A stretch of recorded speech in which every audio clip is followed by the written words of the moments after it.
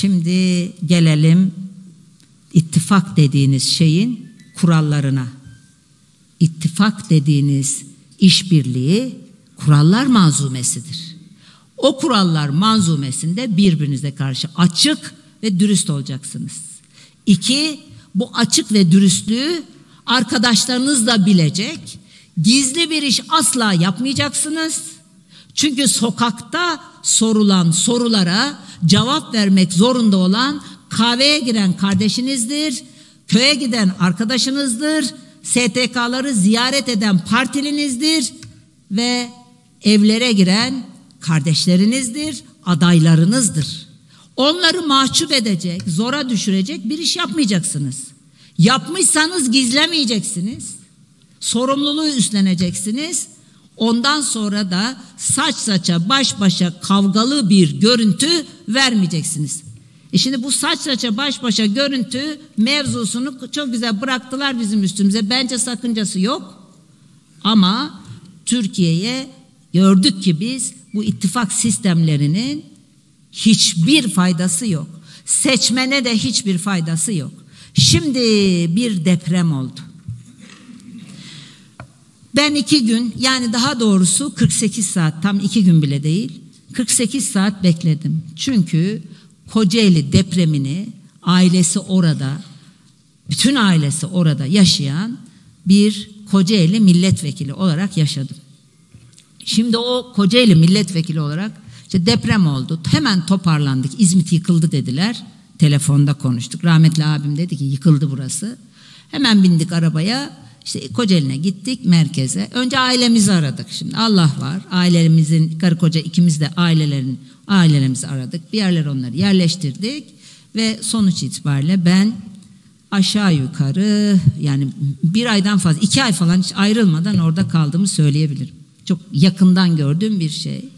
Şimdi binalar yıkık oluyor. İlk etapta ne olduğu anlaşılamadığı için birinci gün oraya siyasi nedenlerle tabi teşkilatlarınız sizinle beraber geliyor. Gürültülü mürültülü bir biçimde gittiğinizde o enkazdan insan çıkarmayı bekleyen, çare bekleyen insanlar sizden nefret ediyor. Biz ettik. Dolayısıyla benim 14 akrabam gitti. Dolayısıyla yani onun altından bir nefes duyma, bir mırıltı duyma çalıştığınızda düdüklü arabalarla gelindiğinde olmuyor yani. Kaç kişi ben bağırdım. En yakın siyasi arkadaşlarımı neredeyse kovdum. Yani onu anlatmak istiyorum. O böyle bir beni anlıyorsunuz değil mi? Nasıl bir psikoloji? Dolayısıyla 48 saat biz ama arkadaşlarımızı der harekete geçirdik ve biz AFAD'la bizzati Sayın Erdoğan'ı arayarak e, ilgili şehirlerin valileriyle irtibat kurarak bir STK gibi çalışmaya başladık. Allah bin kere razı olsun Kahramanmaraş teşkilatımızdan, o, o, o günün il başkanımızdan Allah razı olsun. Her birinden razı olsun da yani şahsınızda aynı şey Gaziantep için de geçerli. Hemen ertesi gün biz çıktık. Ben bütün şehirleri her gün yani bir günü bir e, şehre ayırarak dolaştım. Aldığımız her türlü problemi, derdi, çare olunması gereken konuları herkesin içinde bizzatihi bana yani benim e, şurayı arayın denilen yerleri arayarak çözmeye çalıştım. Yani oradaki mesele kime yazarsa yazsın, artı kime yazarsa yazsın. Esas olan o insanların derdinin çözülmesi. Şimdi aramızda bir polis memuru var. Cumhurbaşkanı Osman Sayın kardeşim.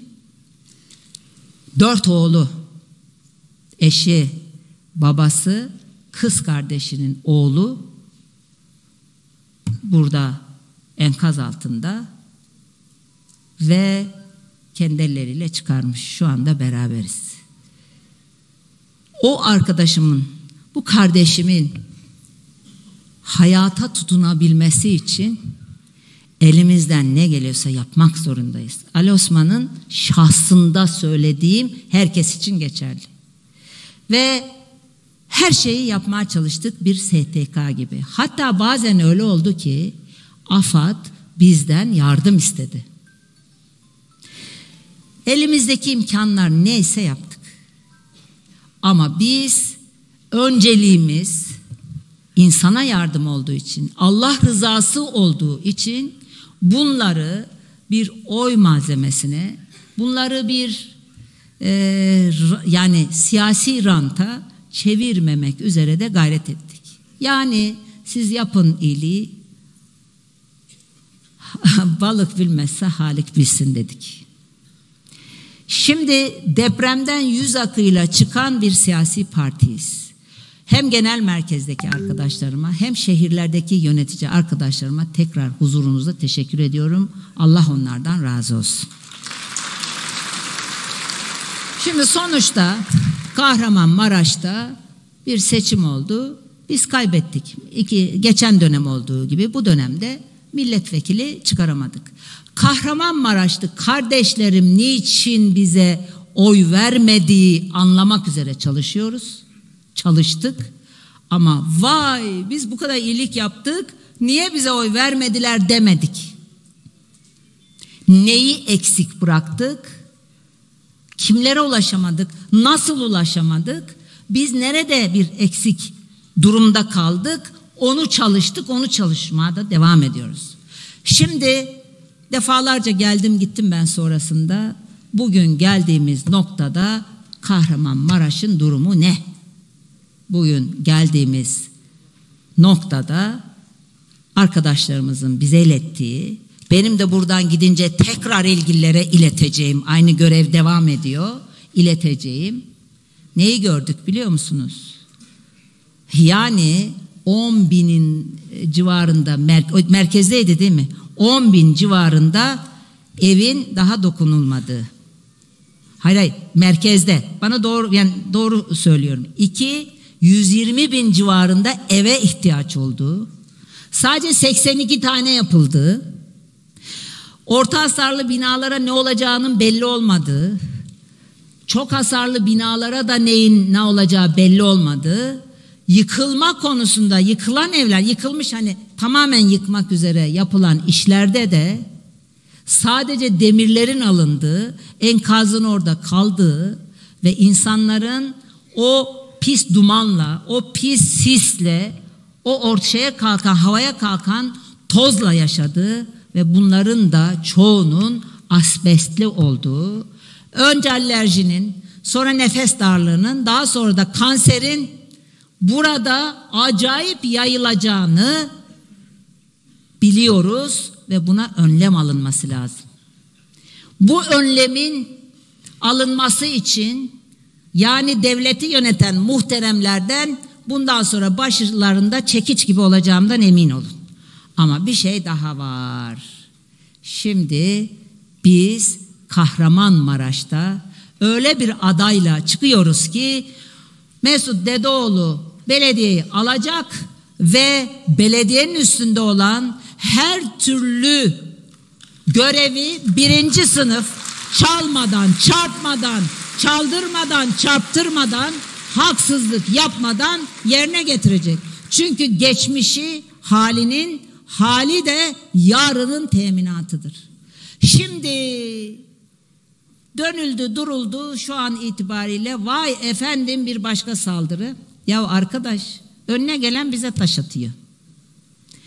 Şimdi mesela çok enteresan şeyler yaşıyoruz. Sahaya gidiyorsunuz seçim zamanı. AK Partililer HDP'yi, PKK'yı bize soruyor. Bu arada HDP her yöneticisi çıkıyor. Yani Meral Akşener aday olaydı kesinlikle Kürtler oy vermezdi diyor. Ya bu nasıl bir şey? Herkesin birbiriyle çeliştiği bir konuşma e, zinciri ama öbürü de diyor ki çek elini diyor. Şimdi el uzatıyorsunuz. Bana da yapıldığı için söyleyeyim. El uzatıyorsunuz. Çek elini diyor. Sen teröristin elini sıkmadın ama diyor. Teröristin elini sıkanların elini sıkanların elini sıktın. Haydi. Anlat baba anlat. Şimdi enteresan bir şey oldu. Biz artık bu yerel seçimde yalnız kendimiz 81 ilde aday göstererek ve iddia ediyorum İzmir gibi, Kahramanmaraş gibi, Eskişehir gibi daha sonra açıklayacağımız pek çok yerdeki o gerçekten işinin erbabı adaylarımızla iyi belediyeciliği ve dediğim gibi israfın olmadığı, çalmanın çaldırmanın bulunmadığı belediyeciliği, sosyal belediyeciliği, proje belediyeciliğini nasıl yapılacağını bu ülkeye ispat edeceğiz ve 2028 seçimlerinde de Allah'ın izniyle milletimizin teveccühüyle biz bu ülkeyi yönetecek parti olacağız. İddiamız budur. Şimdi dün Millet İttifakı'nın içinde yer aldığımız için vatan hainleriyle işbirliği, bugün de AK Parti'ye kazandırmak suçlamasıyla gene bir başka vatan hainliğiyle suçluyoruz, suçlanıyoruz. Ya bu nasıl bir dünya? Arkadaş, Osmanlı savaş açmış. Erzurum'a gitmiş subay köylerden asker istiyor. Gitmiş köylünün evine. Zaten kardeşi şehit. Kendisi zor dönmüş ayak yok. Ondan bir tane gözünün nuru evlatçığı var onu istiyor. Onu çok güzel anlatır tarih e, belgelerde. Gözünün biri de yok. Şöyle açmış gözünün birini. Demiş ki ya bu Osmanlı önüne gelene savaş açmayı benim zürriyetime güvenerek mi yapıyor?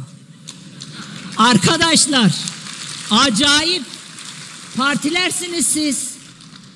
Bakın Cumhuriyeti kuran parti sizsiniz. Hay hay hiç itirazımız yok. Öbürü ise vesayete müca vesayetle mücadele ettim, ediyorum, vesayet ortadan kaldırdım deyip tek adam vesayetini koydu orta yere. Yahu siz bize mi güvendiniz? E peki o zaman biz partimizi kurarken o zorluklarla karşılaşırken siz bizim niye yanımızda olmadınız? Her gün bir arkadaşımızın tutuklanacağı iddiasıyla karşı karşıya kalmışken, her türlü iftira, hakaret, iğrençlikle karşılaşmışken niye ağzınızı açıp da ya bunlar yanlıştır kardeşim demediniz? Yani cebindekini öyle şeyler yaşadım ki ben. Cebindekini bölüp çocuk karısına bırakacağı parayı ayırıp ilçenin kirasına katkıda bulunan insanlarımız var.